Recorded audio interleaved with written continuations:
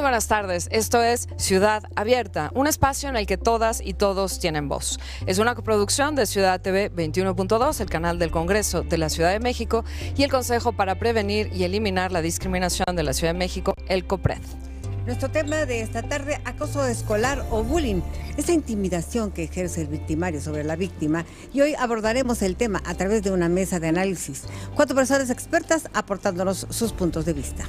Vamos a contar con la presencia de Ruth Delgadillo, directora de capacitación del Consejo Ciudadano de la Ciudad de México, entidad de la que forma parte desde el año 2007 y en la que es responsable de los programas Juntos contra el Bullying y contra la trata de personas. Ella cuenta con una maestría en psicología con especialidad en terapia familiar. Además, su experiencia se enfoca en la atención a personas víctimas del delito. Asimismo, es conferencista y tallerista de estos temas. Otra de nuestros especialistas que nos acompaña esta tarde es Marta Lubia Gómez Sánchez, directora de Educación Preescolar y Primaria de la Secretaría de Educación de la Ciudad de México. Ella es profesora del Jardín de Niños y licenciada en Educación Básica por la Universidad Pedagógica Nacional, coordinadora académica del Programa de Servicios Saludarte Ciudad de México desde 2013 y responsable del seguimiento de algunos órganos colegiados en los que participa la CEDU.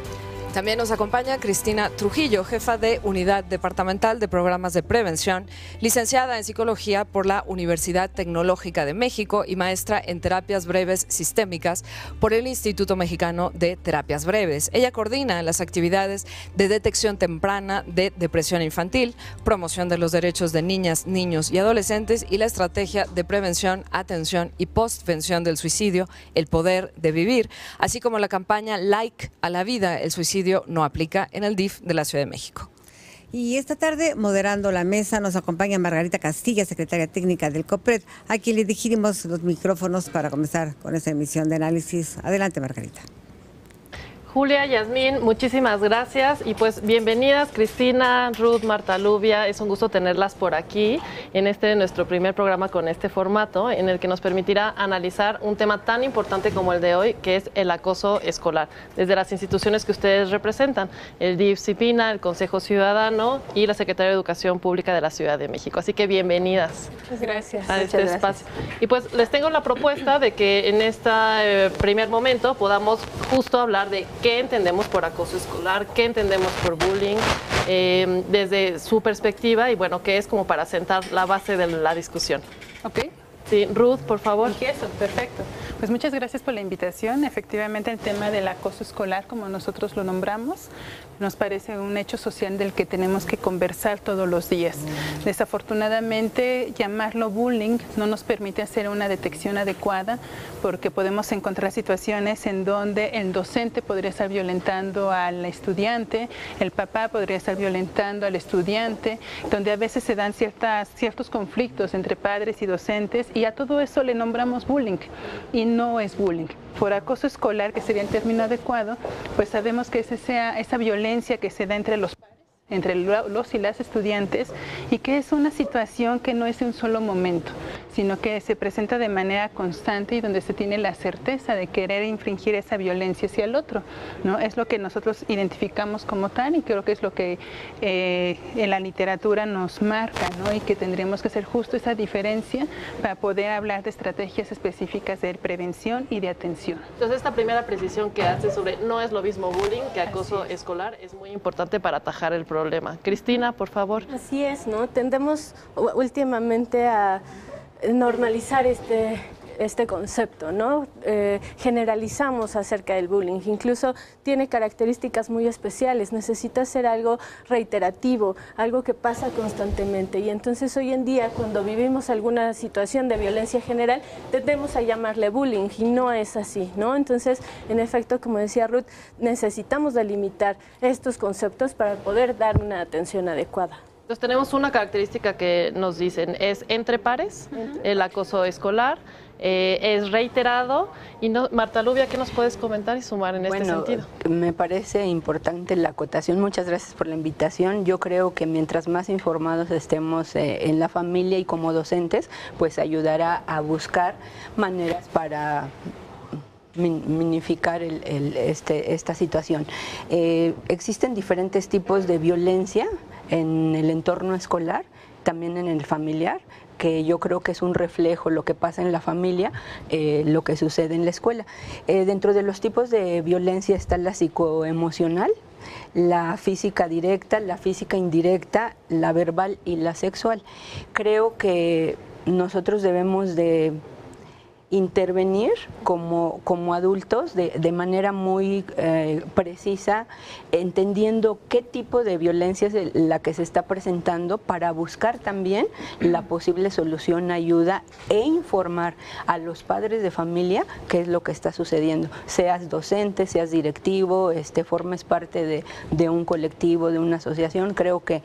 Eh, clasificar los tipos de violencia y conocerlas nos va a permitir saber qué solución podemos ir buscando para ayudar pues a los, tanto a nuestros niños, niñas y estudiantes que lo están sufriendo, como orientar a la familia.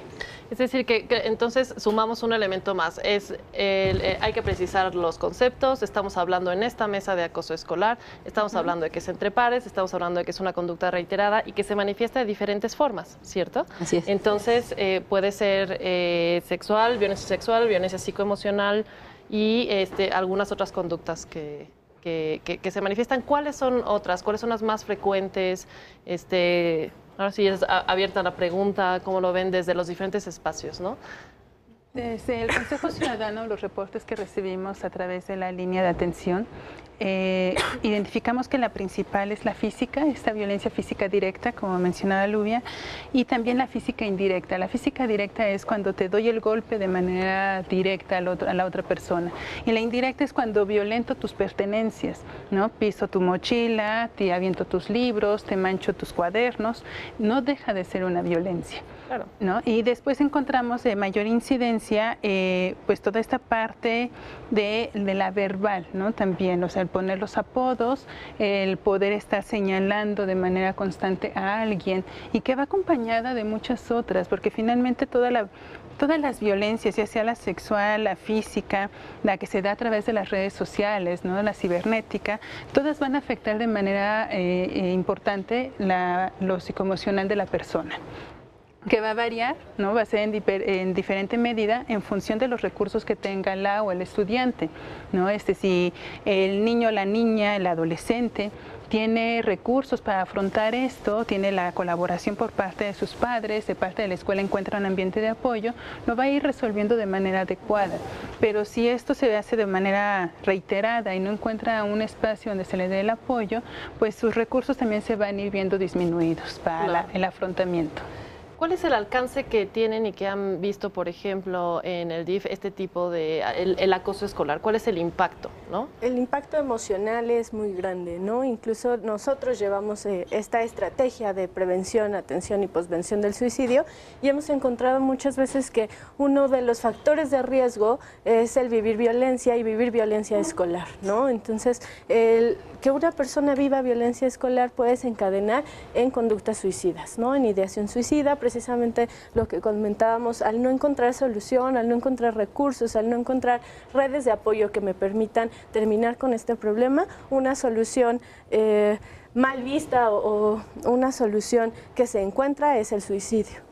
Es decir, que es muy importante eh, reiterar que puede ser desde algo tan importante como eh, de manera constante estar viviendo violencia y tener este malestar al no querer ir a la escuela y tal, hasta llegar al suicidio. Esto es algo muy, muy, muy impactante. Y no sé en qué grupo de poblaciones en el que se, el eh, grupo etario, ¿no?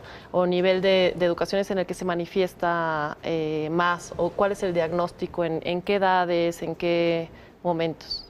Bueno, retomando tu comentario y lo que estaba diciendo nuestra compañera de DIF, me parece muy importante que como adultos estemos alertas de, estos, de estos signos, ¿no? El, eh, algo que no se habla se traduce en, violencia. Entonces, eh, así es. Eh, me, me, parece que la responsabilidad que tenemos tanto como padres y como docentes es estar muy observadores de lo que está pasando.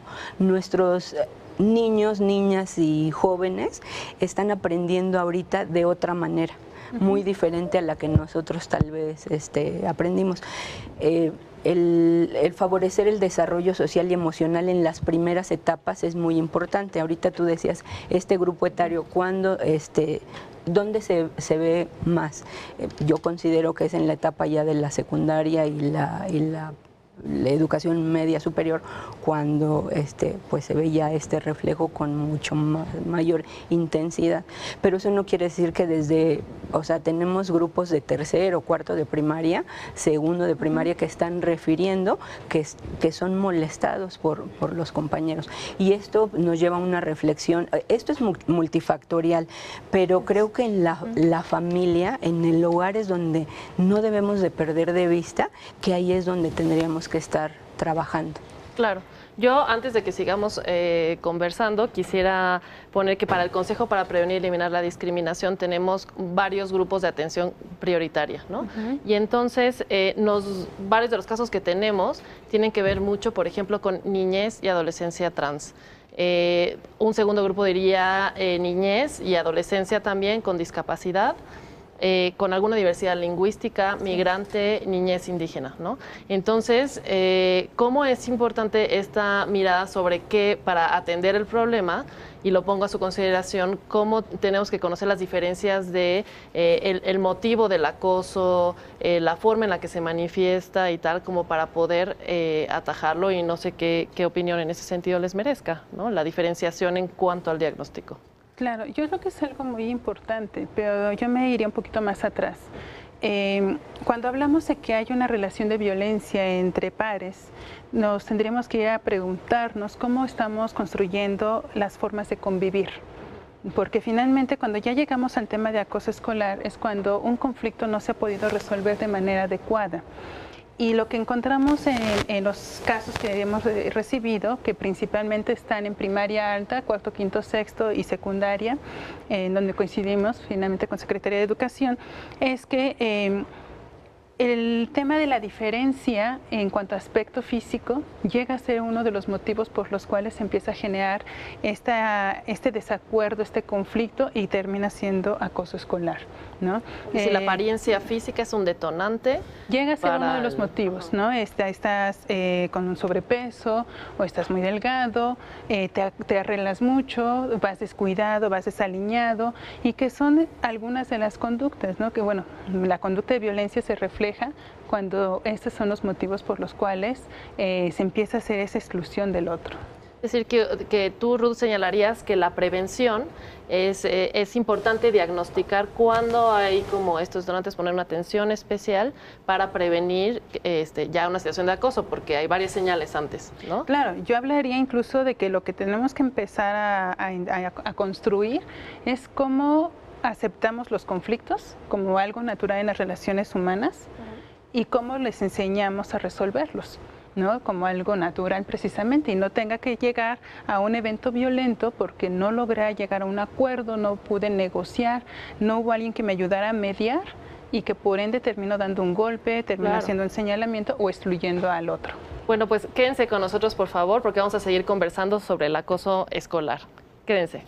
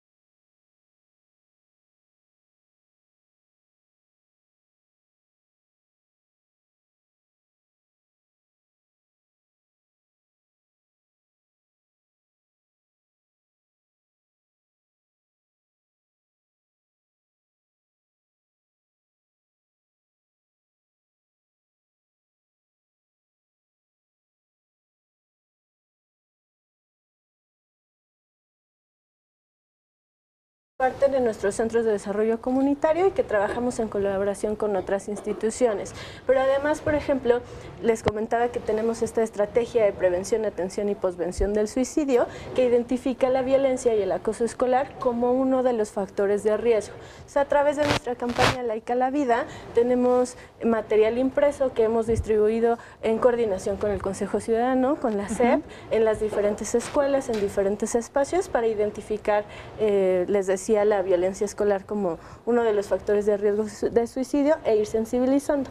Y además tenemos grupos de participación infantil en, dentro del DIF de la Ciudad de México. ¿Para qué? Para que entonces niños y niñas, también adolescentes, conozcan acerca de sus derechos. Y entonces no solo conozcan qué derechos tienen, sino que también sepan cómo exigir estos derechos, ¿no? Cómo hacer que estos derechos se cumplan para ellos. Claro, que este es un elemento muy importante que comentas porque sabemos que a partir del estándar más alto de derechos humanos, la Convención de Derechos del Niño, creo que se debería llamar de la niñez, ¿no? Establece la participación como uno de los principios y como uno de los derechos, ¿no? Además de, autonomía progresiva y del interés superior de, la niñez, ¿no? Pero, ¿cómo llegan eh, a estos talleres la gente, por ejemplo? la gente que asiste a los centros de desarrollo comunitario tiene acceso a ellos. Hemos coordinado también estos talleres, por ejemplo, en diferentes escuelas, entonces nosotros llegamos a las escuelas. ¿Y dónde podemos ubicar o encontrar la información de dónde están los en centros? En nuestra página del DIF de la Ciudad de México pueden encontrar ahí por delegación en dónde están ubicados. En cada alcaldía entonces hay este un centro o a lo mejor más de uno. Así es, a veces más de uno. Perfecto. Y desde la Secretaría de Educación de la Ciudad de México, eh, ¿cómo, ¿cómo, observan el asunto? Nosotros realizamos tareas sustantivas en cuanto a la prevención con algunos programas para padres de familia, para niños y niñas. En este caso, el programa Saludarte, tenemos por primera vez desde hace cinco años una intervención en escuelas primarias públicas y ahorita estamos en 88 escuelas implementando talleres de arte y de nutrición. Esto es muy importante porque nosotros debemos de ofrecer a nuestros niños, niñas y jóvenes herramientas para aprender a comunicarse. Y, una, y un medio es el arte, el otro medio es el deporte y además que conozcan cómo cuidar de su salud. Eh, a cinco años de implementación puedo decirte que el, trayecto ha sido muy interesante porque nuestros talleristas que están frente a, grupo han aprendido a ser sensibles a las necesidades de los niños y las niñas que están viviendo contextos de violencia pues muy fuertes y que pues en la casa también no lo pasan eh, también. Entonces, una de esa eh, estrategia preventiva ha sido el programa Saludarte. Otra, la implementación de un pilotaje de una escuela para padres y madres donde tuvimos una intervención de casi 400 familias que estuvieron aprendiendo cómo en la familia. O sea, el hecho de que seamos padres no quiere decir que sabemos cómo vamos a educar. Y yo considero que no debemos de quitar el dedo del renglón en estas estrategias preventivas, sobre todo con las familias, porque una de las eh, cuestiones que nos mencionaban era, yo no sabía que, un, que una grosería, que es un tipo de abuso verbal, eh, lastima, ¿no? Este, a veces hasta más que, un golpe. O yo no sabía que este es un tipo de violencia. No voy a volver a, este, a comunicarme con mi hijo así. Entonces, en la parte preventiva pues tenemos el, trabajo con padres. Saludarte nos ha permitido también ofrecer a los padres actividades extraescolares donde hemos podido convivir a, partir de visitas a museos, de visitas a centros recreativos, de un circuito que le llamamos nosotros de valores, donde a través de actividades lúdicas es, el padre de familia está compartiendo con su hijo o con su hija. Y creo que ese es un elemento esencial. No sabemos cómo comunicarnos. En la parte de la atención, pues eh, a partir del enero del 2012 que se publica en la Gaceta la Ley para la Promoción de la Convivencia Libre de Violencia en el Entorno Escolar, pues nos demandan tareas que tenemos que este, compartir con las diferentes instituciones y se crea la red interinstitucional para la convivencia en el entorno escolar. Y son alrededor de 13 instituciones como la Consejería, COPRED, el DIF, FIDEGAR, INJUVE, INMUJERES de la Ciudad de México, LOCATEL, la Procuraduría, CEDEREC, CEDESA, CEDESO, la Secretaría de Salud Pública y las diferentes alcaldías que estamos haciendo un trabajo para reunir elementos y poder dar atención a los niños, las niñas, los estudiantes, las familias que se acercan. El Consejo Ciudadano, tenemos también un, convenio con ellos de trabajo colaborativo porque nos refieren los casos para que nosotros podamos dar esa atención. Una de las instrucciones del secretario, el licenciado Mauricio Rodríguez Alonso, fue el de eh, como no tenemos nosotros la administración de los servicios educativos, pero sí tenemos la obligación de dar esa atención a las familias. Entonces se diseñó un módulo de atención a la violencia escolar que está situado en nuestra secretaría, que es en Avenida Chapultepec 49, donde ahí tenemos la oportunidad de trabajar con especialistas que dan atención a pues a la problemática y sobre todo orientamos. Nosotros a partir de esta red de convivencia tenemos un, sistema de información localizada donde el padre de familia puede hablar a Locatel o puede acercarse a la Secretaría de Educación o a los diferentes módulos que tiene cada una de las dependencias para atender la problemática. Y entonces al recibir esa escucha, muchas veces los padres se van convencidos de que las autoridades federales, que son las que pues tienen eh, toda la esta disposición y administración de este servicio educativo puedan también eh, ayudarlos, porque muchas veces lo que nosotros tenemos de atención es esa escucha al padre que ya fue a su escuela, que ya habló con su director, que ya eh, puso un oficio al supervisor y solo es como orientarlos y en algunos casos donde sí se aplica eh, esta este sistema, nosotros canalizamos a las diferentes instituciones para que ahí los niños, las niñas, los estudiantes y sus familias reciban la atención. Claro, y es que aquí se necesita, el problema pues es estructural y entonces hay que darle atención desde diferentes eh, espacios, ¿no? Y, atención, como comentabas, a la familia, acompañamiento, hay que aprender muchas veces nuevas este, habilidades, ¿no? Estrategias para dejar de normalizar la violencia, que es algo que comentábamos en, el corte. Pero en cuanto al Consejo Ciudadano, por favor, porque este, compártenos.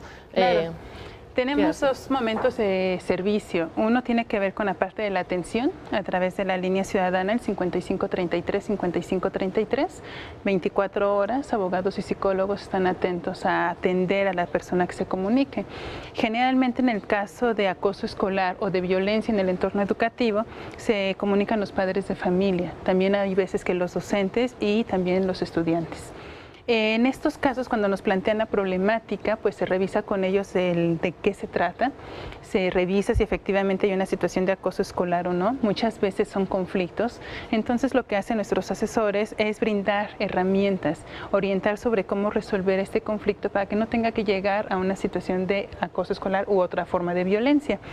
Eh, cuando se da efectivamente esta situación ya del acoso escolar, pues también se les da una orientación de qué es lo que se podría hacer, ¿no? Desde la situación jurídica, ¿no? Desde la parte administrativa también para acercarse con las autoridades escolares y también se ofrece el apoyo psicoemocional.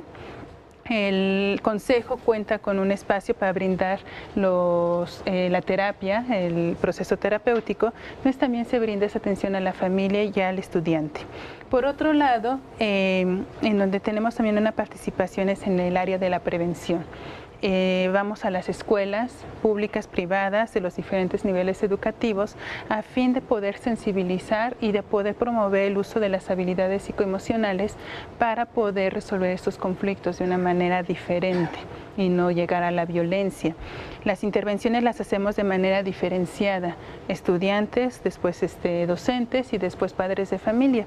Estamos convencidos que efectivamente tenemos que trabajar con toda la comunidad educativa para involucrar y que cada uno sepa cuál es la responsabilidad que le toca, porque muchas veces el padre de familia, la mamá, el tutor piensa que es solo del docente o solo del director la responsabilidad de resolverlo y no es así. Y también estoy de acuerdo en que la familia muchas veces se quiere deslindar cuando también tiene una participación muy importante. Pues eh, hemos hablado aquí entonces, el DIF tiene eh, centros comunitarios en cada alcaldía, en algunos más a, más a unos, otros mecanismos del Consejo, otros mecanismos de la Secretaría y el propio COPRED también. Ahorita seguiremos platicando de eso, así que se quédense con nosotros por favor para el siguiente espacio.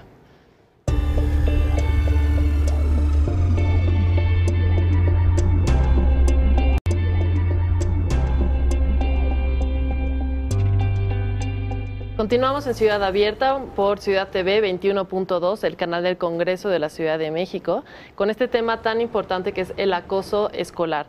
Cómo prevenirlo, de qué instituciones, eh, con qué mecanismos cuentan las instituciones públicas, cuáles son esas instituciones públicas para prevenirlo, para atenderlo y para acompañarnos en estos casos.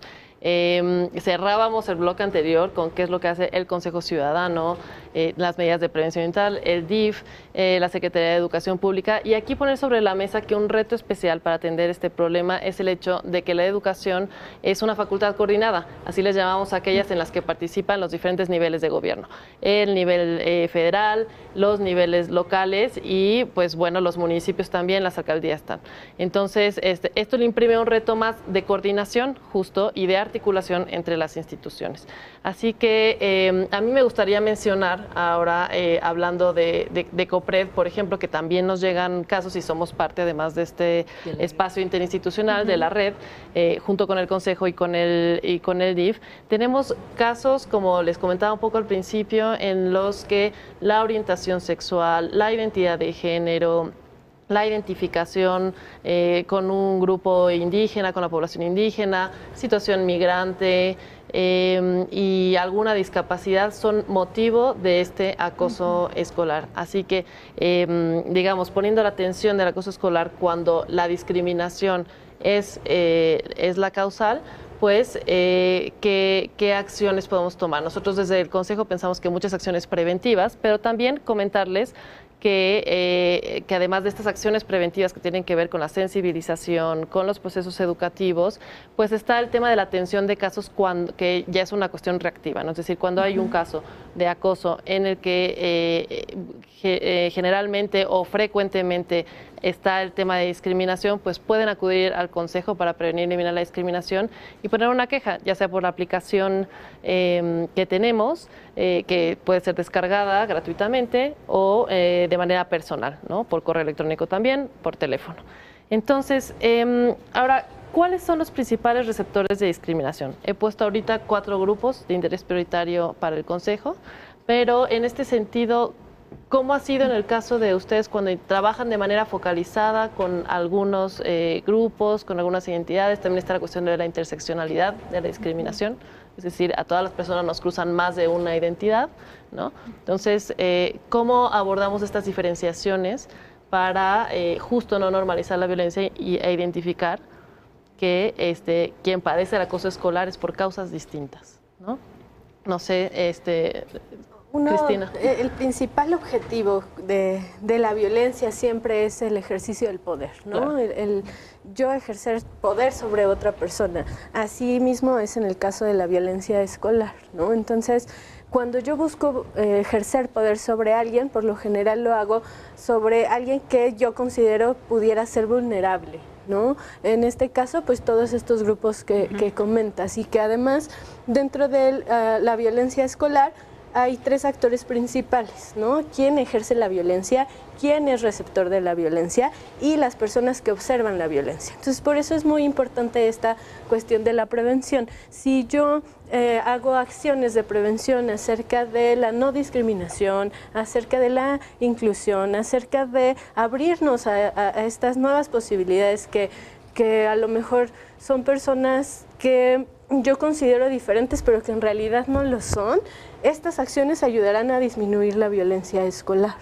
Es decir, que hay que atajar como las causas que nos hacen tener una relación de poder, ya sea histórico este, o en el espacio ahí. Y olvidé mencionar además niñas, ¿no? Niñas es, un grupo principal. Sobre todo en estas cuestiones de acoso, eh, ciberacoso, ¿no? Ciberbullying, y que tienen que ver con una connotación sexual, que hoy ya es un delito, ¿no? Que, por ejemplo, todas estas eh, fotos de sexting se vayan intercambiando, hoy ya es un delito. Sin embargo, eh, en cuestiones de género es algo muy común, esta ciberviolencia o este acoso eh, cibernético a través de temas sexuales, ¿no? que tienen que ver con una cuestión de género. Y que afectan principalmente a las niñas y adolescentes mujeres. Así es. Claro, pero yo me regresaría nuevamente, porque finalmente cuando alguien decide ejercer la violencia sobre el otro, como bien se menciona, observas cuál es su punto de vulnerabilidad, ¿no? ¿Qué lo está haciendo vulnerable? Y cualquiera, cualquier situación que te haga diferente,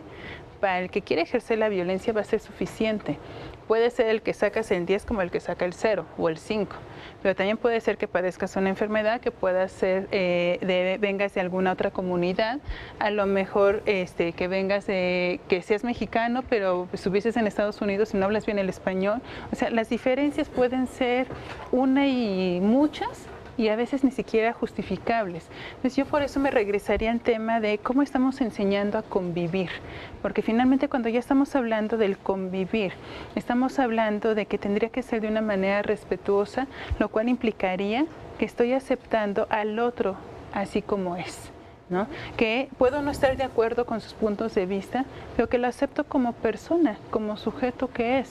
Y eso pues lo tenemos que observar en los diferentes escenarios pero si en casa o en la escuela eh, no se le da la cabida y se le respeta a esa persona con las propias condiciones en las que se encuentra, pues los demás van a aprender.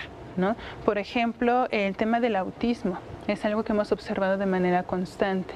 Sí, eh, sabemos que se hizo todo un proceso de cultura de inclusión para que niños, niñas que estuvieran viviendo a lo mejor una situación de autismo pudieran ser parte de una comunidad educativa y que si a lo mejor el docente no sabe cómo tratarlo, cómo atenderlo, cómo relacionar, si volvemos al tema de convivencia, cómo me relaciono con alguien que vive autismo, los estudiantes van a observar que es complicado y entonces puedo hacer un señalamiento y no convivo de manera adecuada, de manera respetuosa. Y aquí lo compartimos totalmente. La desinformación, eh, además, por un lado son los prejuicios, ¿no? Pero por otro, en un paso anterior, muchas veces la desinformación, es decir, por ejemplo, ¿qué es, ¿quién es una persona trans? ¿no? Claro. Eh, a ver, el español eh, junto con otras lenguas originarias y junto con la lengua de señas mexicana son lenguas nacionales. ¿no? Entonces, este, tú hablas una, yo hablo otra, pero la dominante siempre ha sido el español. Entonces, ¿cómo vamos teniendo información sobre la historia, la cultura, eh, otras formas de ser, de vivir, ¿no? las identidades? No sé, desde la Secretaría de Educación Pública también, ¿cómo, cómo se observan estas diferencias? Quisiera retomar la frase que nos dice Ruth del aprender a convivir, ¿no? El aprender a convivir implica también una educación en igualdad y debemos de empezar desde las etapas tempranas. Eh, recordemos que el favorecer el desarrollo moral y social de los niños implica también un adulto que esté dispuesto a esa escucha. Eh, me parece que ahí es donde debemos de puntualizar el adulto, padre, madre, maestro, abuelo, el que esté a cargo de este y en una relación con el niño, la niña, el joven debe de desarrollar esa sensibilidad, o sea, usamos la palabra de resiliencia, de convivencia, de educación para la paz, o sea, más que hablar de, pues, o sea, de, la violencia y lo que genera, es cómo enseñar desde la casa o en el aula que debemos de ser sensibles al otro. Basta asomarnos en el transporte público con nuestro vecino para saber que ya no somos tan tolerantes a... Sin embargo, si empezamos a generar esos espacios de escucha, sobre todo cuando hay un conflicto en el aula, es porque el niño o la niña tiene la necesidad de decir algo. Busquemos entonces esos medios. Pero eso implica que nosotros como adultos tenemos que ir también cambiando ciertos esquemas porque ya están aprendiendo nuestros estudiantes de otra manera. Y si yo quiero usar los métodos, las formas de antes, ya no nos va a funcionar. Entonces, sí buscar eh, esos elementos, esas estrategias y no quitar el dedo del renglón, que la transformación viene a partir de, primero, la casa, o sea, qué pasa en el hogar y cómo me comunico estos padres de familia en la escuela. O sea, cómo podemos eh, hacer funcionar eh, la Secretaría de Educación Pública tiene los consejos de participación social, donde los padres asisten a la escuela.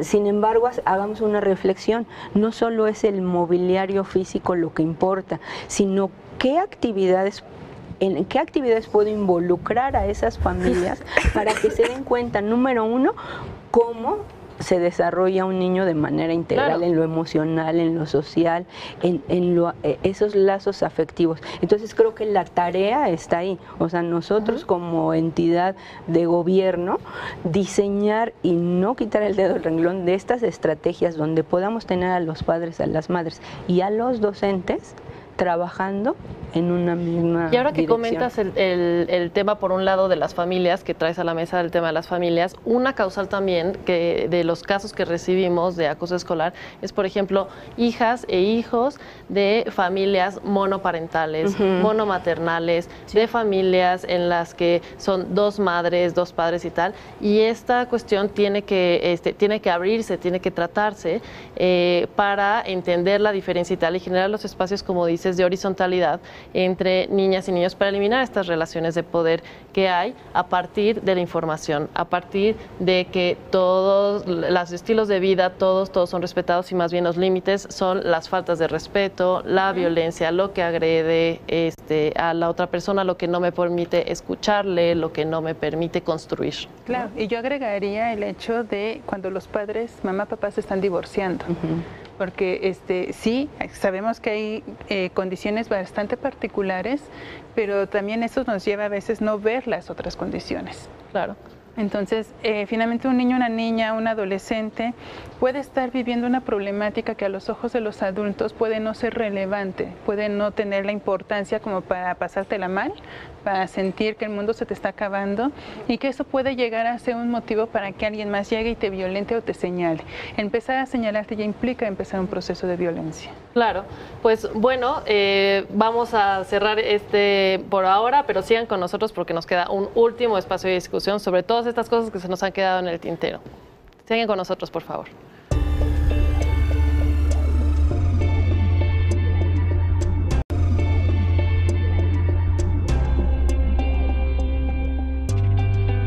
Pues estamos de regreso en Ciudad Abierta, espacio de la diversidad, conversando con nuestras invitadas en esta mesa de análisis sobre el acoso escolar o bullying. Em, en estos últimos minutos, eh, pues queremos aprovechar muchísimo para conocer las ideas finales, o sea, cuál es su mensaje final eh, por parte de las instituciones, de ustedes respecto a este tema y también dejar uno que se quedó en el tintero de manera muy rápida, cómo es la importancia de acompañar a eh, maestras y maestros porque quienes principalmente identifican estas relaciones tienen esa posibilidad de intervenir y de hacerlo con las herramientas pertinentes y de, eh, pues son ellos y ellas, ¿no?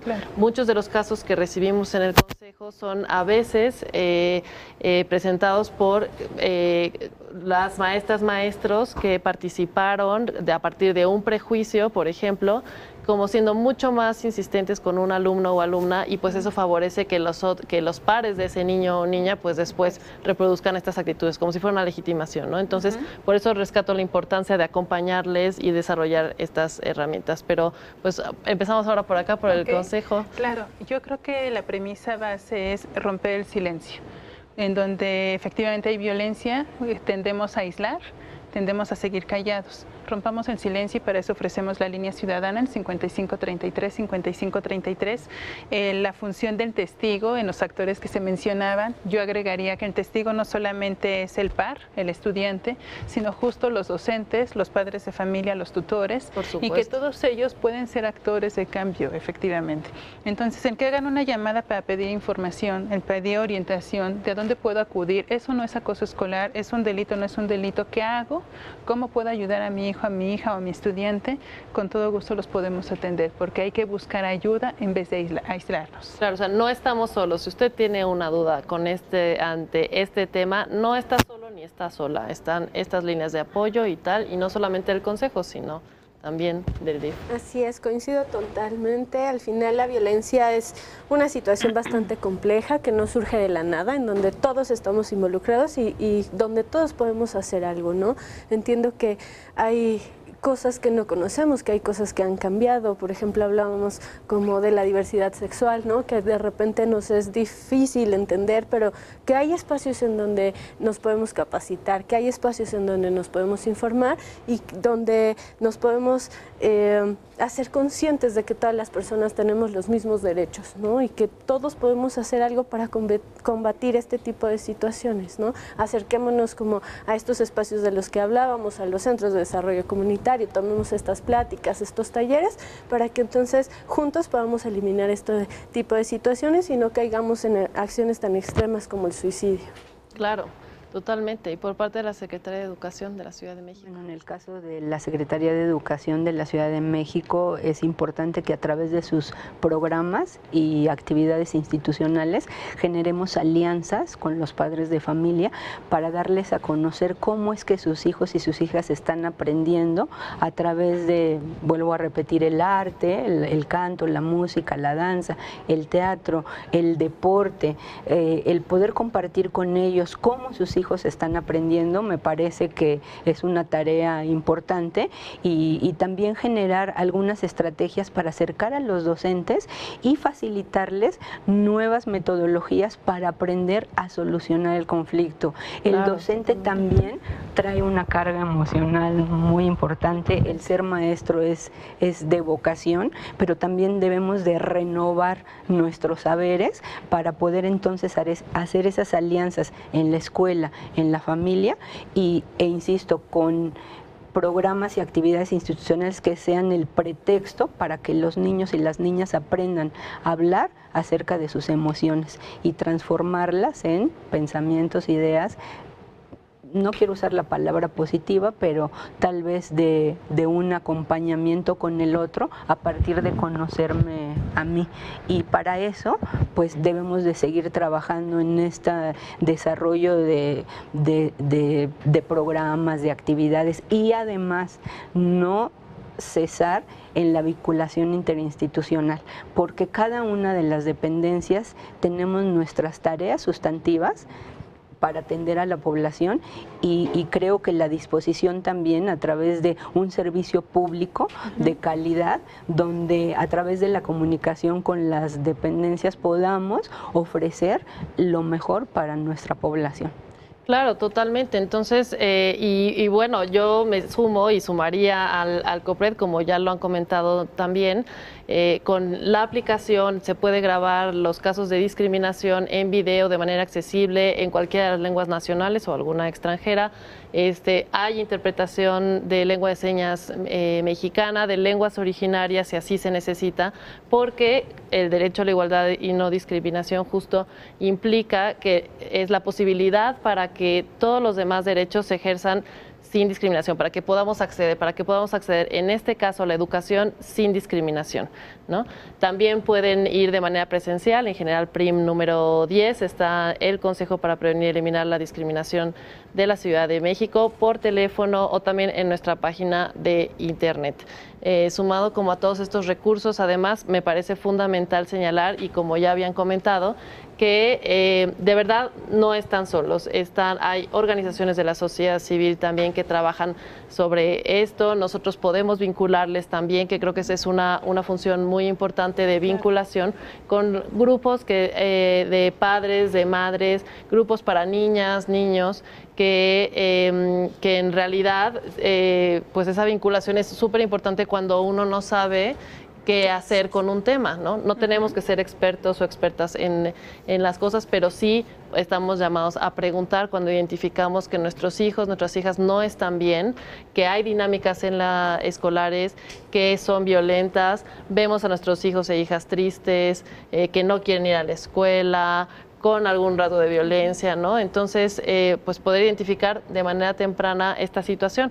Al mismo tiempo, creo que un paso eh, posterior también es incluirlo en los indicadores de evaluación educativa, por ejemplo, el tema de no sabemos cuáles son, eh, cómo impacta este tipo de violencia o la discriminación en la deserción escolar, ¿no? En el caso de niñez y adolescencia trans, pues se, se comenta mucho que hay deserción por este tipo, por, por, esta, por esta causal, ¿no? Porque llega a ser tan hostil el espacio que entonces hay abandono. Y eso a su vez, y hay que enfatizarlo, trae el dejar la educación, el no acceder a la educación sin discriminación o sin violencia, después acarrea un sinnúmero de, eh, de, factores de discriminación o que nos dejan, nos excluyen para ejercer el resto de los derechos. ¿no? Entonces, este, pues les agradecemos muchísimo haber estado a la Secretaría este, de Educación de la Ciudad de México, al DIF eh, de la Ciudad de México, CIPINA, eh, al Consejo Ciudadano, porque eh, a partir de todas estas instituciones, que ustedes sepan que acompañamos, sabemos de, de este tema y estamos además para ejercer esas facultades. Así que muchísimas gracias por haber estado eh, el día de hoy con nosotros en este programa. Por favor, acompáñenos en este nuevo formato de programa. Hemos llegado al final de esta emisión. Ciudad Abierta es una coproducción de Ciudad TV 21.2, el canal del Congreso de la Ciudad de México, con el Consejo para Prevenir y Eliminar la Discriminación de la Ciudad de México, el COPRED. Nos vemos la siguiente semana y hasta entonces. Muchas gracias. Gracias. gracias.